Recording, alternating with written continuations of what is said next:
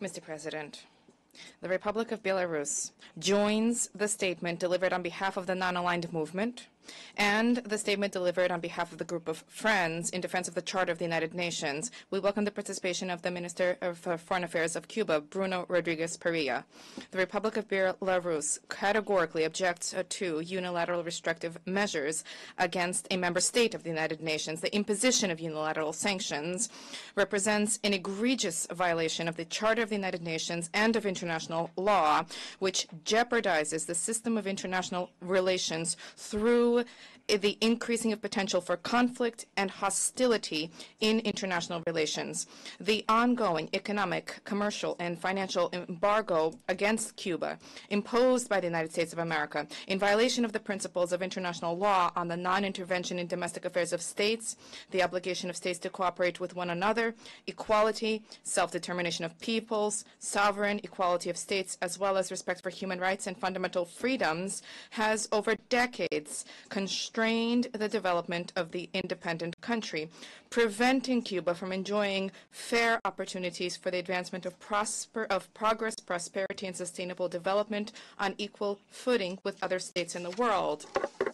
We once again stress that the main victim of unilateral sanctions measures is the Cuban people. The illegal restrictions in the area of trade, currency, banking sector, and tourism is a flagrant violation of human rights, doing damage to millions of Cuban citizens, resulting in economic uncertainty, unemployment, and absence of opportunities.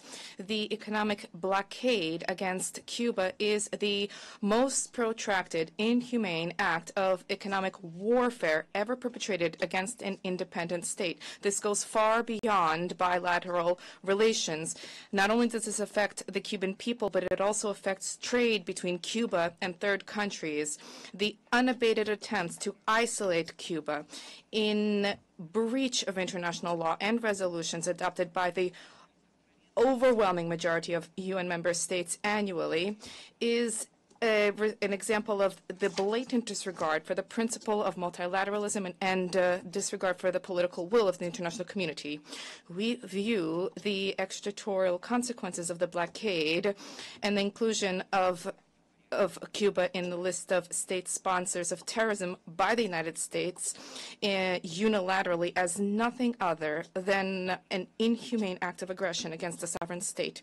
We believe fully that in an era of profound transformation to establish multilateralism and uh, the greater interna international cooperation, which is the basis for sustainable development on the global level, that there can be no place for unilateral sanctions measures here. Belarus and Cuba are friendly states. We continue to cooperate, which reflects the interest of the peoples of both countries advancing economic and social development. We call for the full and unconditional lifting of the economic financial and commercial blockade against Cuba by the United States and to resume for the U.S. to resume dialogue to rekindle the process that had once begun to normalize relations with Havana for the benefit of the peoples of both states. We will continue to vote in support of the resolution until the blockade is lifted. Thank you for your attention.